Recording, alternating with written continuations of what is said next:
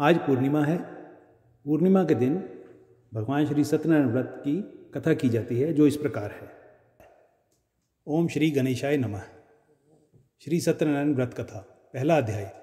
एक समय नमीशारण्य तीर्थ में शौनकादि अट्ठासी हज़ार ऋषियों ने श्री सूद जी से पूछा, हे प्रभु, इस कलयुग में वेद विद्या रहित मनुष्यों को प्रभु भक्ति किस प्रकार मिलेगी तथा उनका कैसे उद्धार होगा?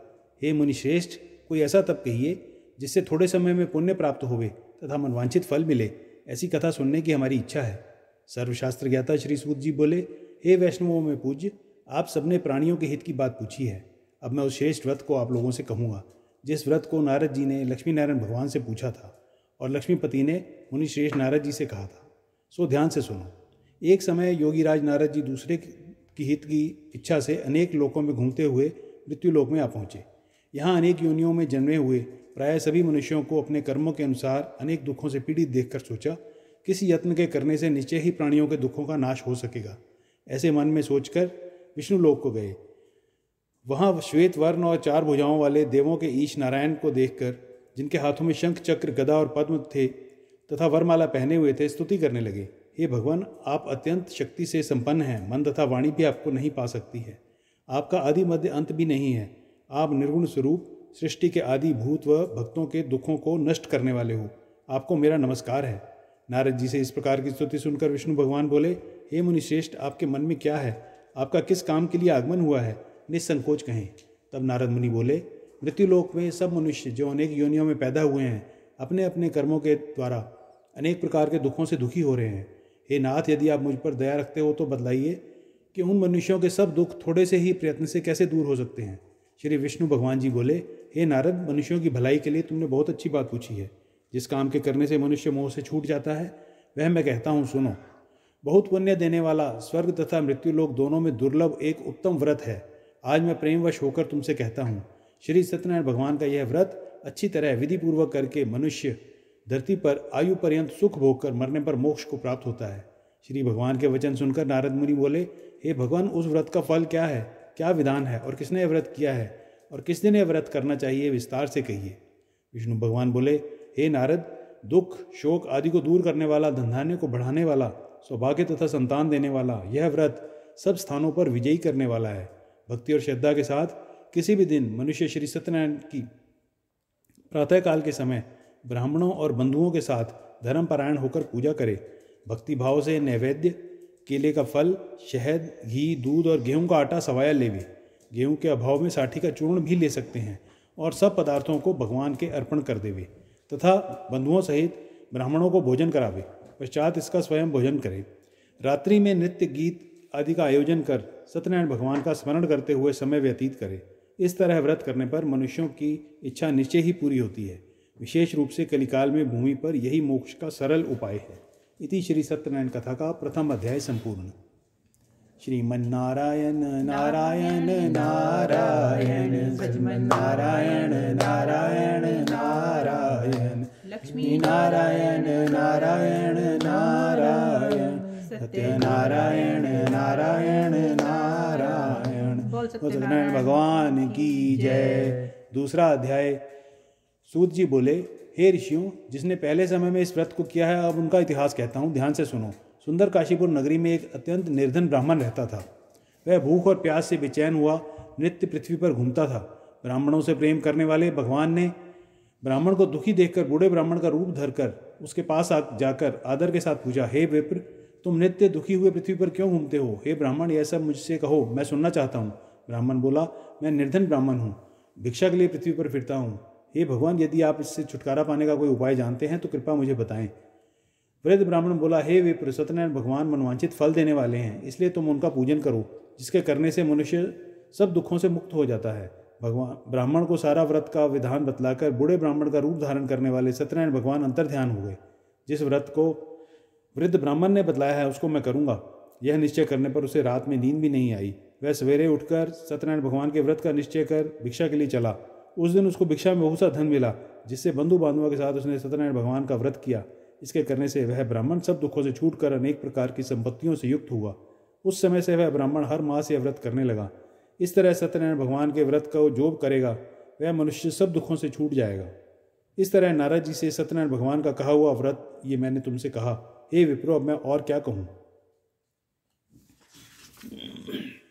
ऋषि बोले हे मुनीश्वर, संसार में इस ब्राह्मण से सुनकर किस किस ने इस व्रत को किया है, वह हम सब सुनना चाहते हैं। इसके लिए हमारे मन में जिज्ञासा है। सूत जी बोले, हे मुनियो, जिस जिसने इस व्रत को किया है, वह सब सुनो। एक समय वह ब्राह्मण धन और ऐश्वर्य के अनुसार बंधु बांधुओं के साथ व्रत करने को तैयार हुआ। उसी समय एक लकड़ी बेचने वाला बूढ़ा आदमी आया और बाहर लकड़ियों को रखकर ब्राह्मण के पास मकान में गया। प्यास से दुखी लकड़हारा उनको व्रत करते देखकर ब्राह्मण को नमस्कार कर करने लगा। आप यह क्या कर रहे हैं? इसके करने से क्या फल मिलता है? कृपा करके मुझे बताइए। ब्राह्मण ने कहा, सब मनोकामनाओं को पूरा करने वाला ये सत्यनारायण भगवान का व्रत है। इसकी कृपा से ही मेरे यहाँ धन धान्य आदि की वृद्धि हुई है।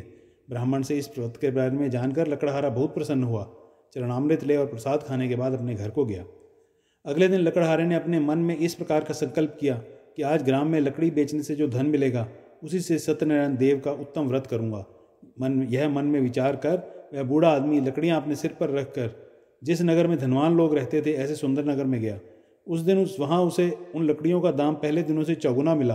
तब वह बूढ़ा लकड़हारा दाम ले और अति प्रसन्न होकर पके केले, शक्कर, घी, दूध, दही और गेहूँ का चूर्ण इत्यादि, सत्यनारायण भगवान के व्रत की कुल सामग्रियों को लेकर अपने घर गया। फिर उसने अपने भाइयों के को बुलाकर विधि के साथ भगवान का पूजन और व्रत किया। उस व्रत के प्रभाव से वह बूढ़ा लकड़हारा धन पुत्र आदि से युक्त हुआ। और संसार के समस्त सुख भोगकर वैकुंठ को चला गया। इति श्री सत्यनारायण कथा का द्वितीय अध्याय संपूर्ण। नारायण नारायण नारायण नारायण नारायण नारायण लक्ष्मी नारायण नारायण नारायण सत्य नारायण नारायण नारायण। वो सत्यनारायण भगवान की जय तीसरा अध्याय। सूत जी बोले हे श्रेष्ठ मुनियों अब आगे की कथा कहता हूँ, सुनो। पहले समय में उल्कामुख नाम का एक बुद्धिमान राजा रहता था। वह सत्यवक्ता और जितेंद्रिय था। प्रतिदिन देव स्थानों पर जाता तथा गरीबों को धन देकर उनके कष्ट दूर करता था। उसकी पत्नी कमल के समान मुख वाली और सती साध्वी थी। पुत्र प्राप्ति के लिए भद्रशिला नदी के तट पर उन दोनों ने श्री सत्यनारायण भगवान का व्रत किया।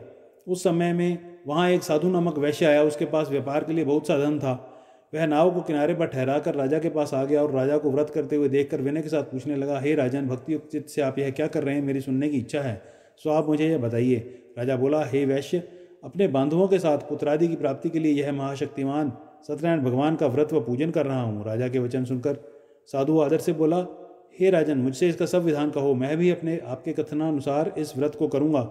मेरे भी कोई संतान नहीं है। मुझे विश्वास है कि इस व्रत के करने से निश्चय ही होगी। राजा से सब विधान सुन व्यापार से निवृत्त हो, वह आनंद के साथ अपने घर को गया। साधु ने अपनी स्त्री को संतान देने वाले इस व्रत को सुनाया और प्रण किया कि जब मेरी संतान होगी, तब मैं इस व्रत को करूँगा। साधु ने ऐसे वचन अपनी स्त्री लीलावती से कहे।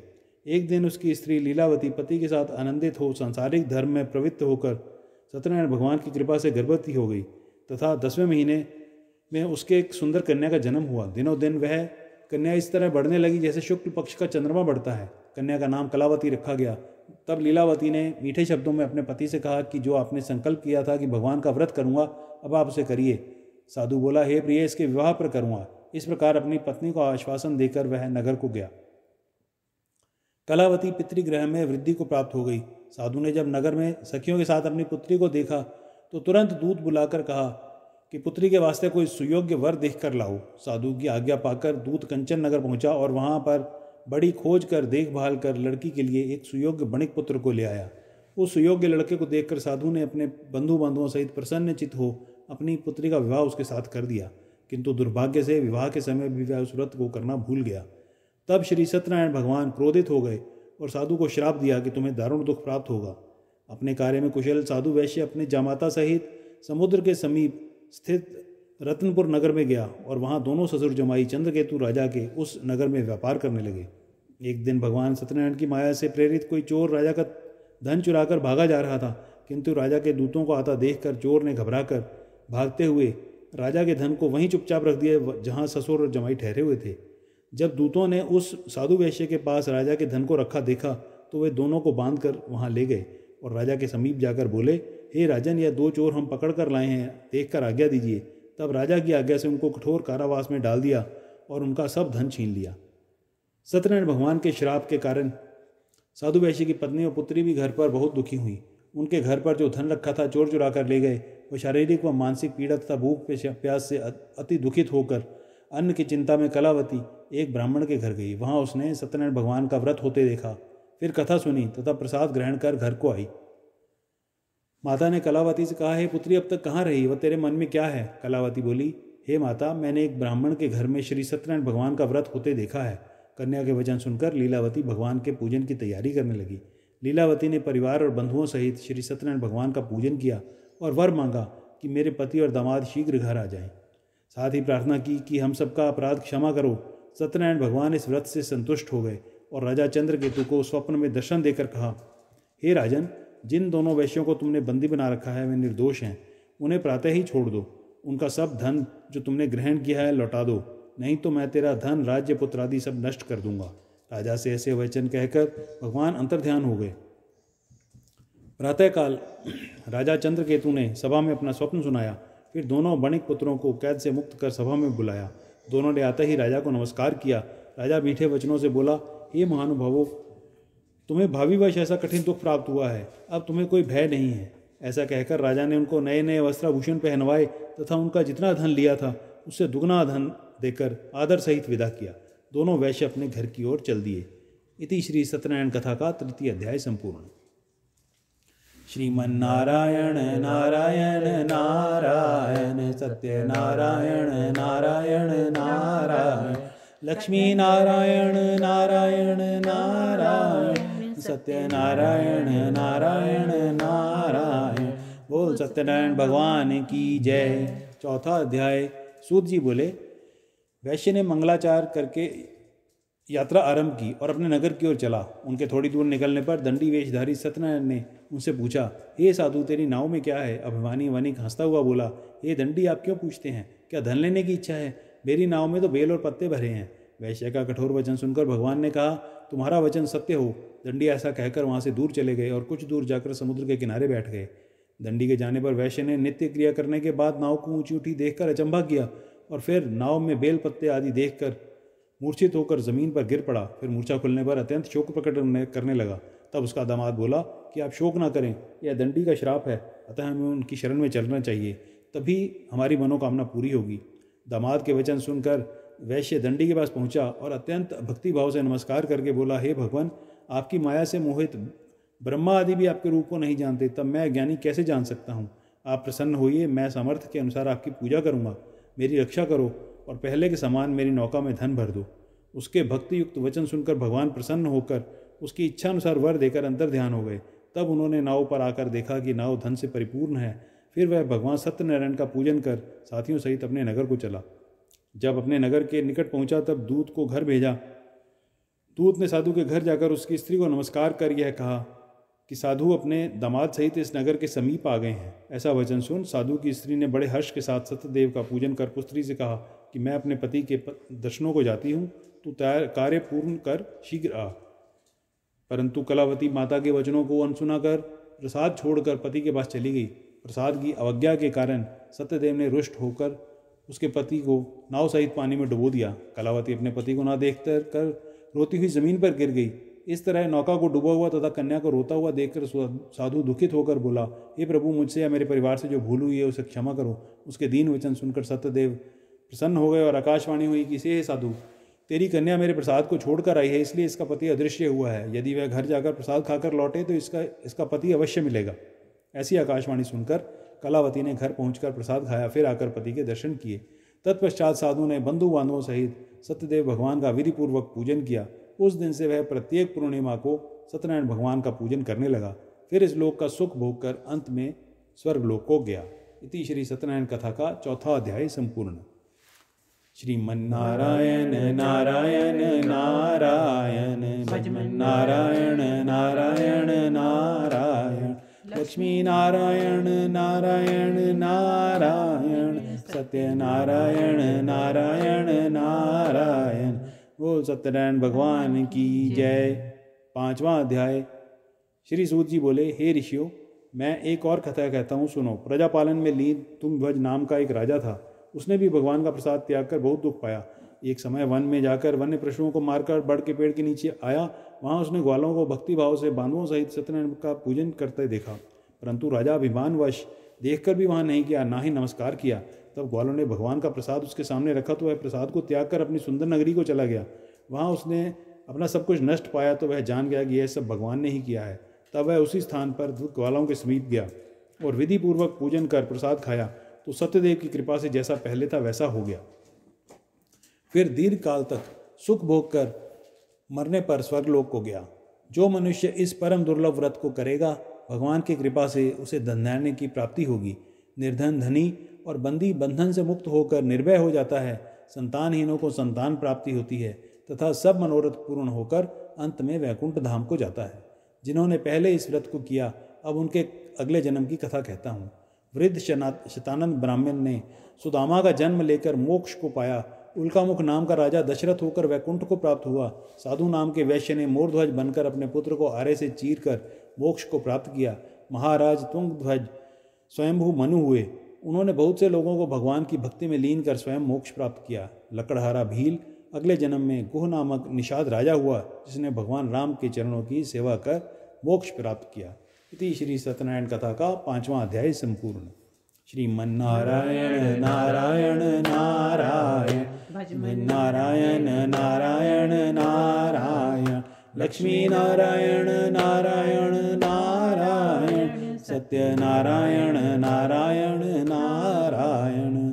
बोल सत्यनारायण भगवान की जय। श्री सत्यनारायण जी की आरती। जय लक्ष्मी रमणा, स्वामी जय लक्ष्मी रमणा। सत्यनारायण स्वामी सत्यनारायण स्वामी, जनपातक हरणा ओम जय लक्ष्मी रमणा। रत्न जड़ित सिंहासन अद्भुत छवि राजे, प्रभु अद्भुत छवि राजे। नारद करत निरंतर, नारद करत निरंतर घंटा ध्वनि बाजे। ओम जय लक्ष्मी रमणा। प्रकट भय कलि कारण द्विज को दर्श दियो। प्रभु द्विज को दर्श दियो। बूढ़ो ब्राह्मण बनकर, बूढ़ो ब्राह्मण बनकर कंचन महल कियो ओम जय लक्ष्मी रमणा। दुर्बल भील कठारो, इन पर कृपा करी। प्रभु इन पर कृपा करी।